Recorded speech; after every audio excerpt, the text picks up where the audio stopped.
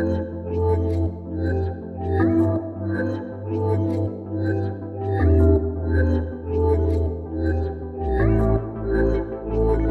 Este evento que está a ocorrer aqui no Ministério do Ambiente em Lisboa está relacionado com um workshop que se insere no âmbito de um projeto uh, europeu, com financiamento europeu, no âmbito das escolas Marie Curie, em que uh, o grande objetivo uh, deste tipo de projetos é financiar estudantes em, no início da investigação e que desenvolvem teses de doutoramento no âmbito dessa mesma investigação.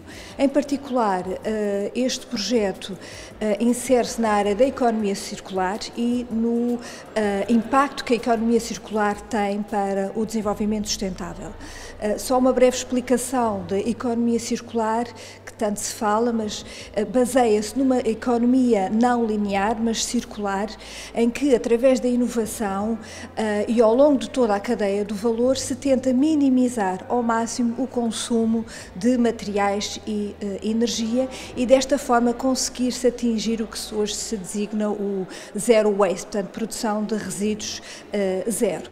Cresting is an European funded project looking at the circular economy and we are training 15 early stage researchers or PhD students into researching different aspects of the circular economy, which is a, a very ambitious scheme for making the human use of resources and disposing of them more sustainable. So we make the maximum use out of our resources.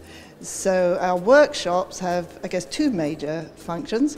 One is networking to bring everyone together because they're part of an international network with supervisors and other students share between six different countries. So it's very important to get together and up to date each other regularly. And the second purpose, which maybe is the more important one, is for part of the training program for the students. And the training has, again, two aspects. One is looking at relevant issues to do with the circular economy. And in Portugal, we've been focusing on the public sector engagement with the circular economy, which is the, the major area of focus of Nova University and Aberta, which are the Portuguese partners. Uh, the second aspect is more transferable skills. So today there's a very exciting interactive workshop uh, looking at the application of mixed methods and visioning to circular economy research. So kind of looking towards the future, what would we like the circular economy to be like in some years' time? What can we do now to help work us towards that state? My main research focus is on the circular economy and the implications of in sustainability, but more so uh, assessment methodologies at a company level and how uh, companies can communicate the message of circular economy. I'm very much enjoying this workshop right now.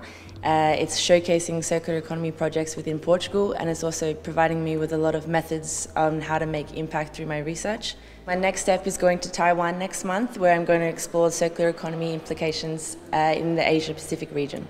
Os estudantes estão a desenvolver as suas teses dentro deste grande chapéu da economia circular em diferentes áreas, como por exemplo na economia social, na área do emprego, na área da avaliação do desempenho uh, das atividades de economia circular, no, no setor privado, no setor público, portanto em todas as diferentes áreas. Uh, este workshop em particular é da responsabilidade da organização do Centro de Investigação em Ambiente e Sustentabilidade da Universidade Nova de Lisboa mas com a colaboração também da Universidade Aberta, que é um dos parceiros do projeto. Estes estudantes vêm de diferentes partes do mundo, portanto é uma grande experiência também para eles estarem aqui a discutir as suas teses e também onde são diversas palestras são apresentadas sobre a temática.